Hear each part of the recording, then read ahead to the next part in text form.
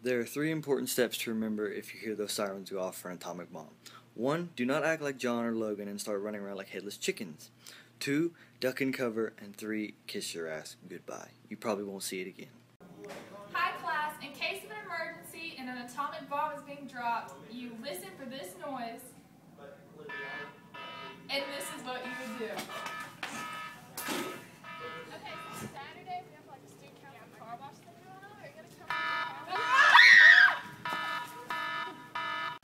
End of the day, if you ever are in school or walking outside enjoying the weather and hear the atomic bomb alarm go off, drop to the floor.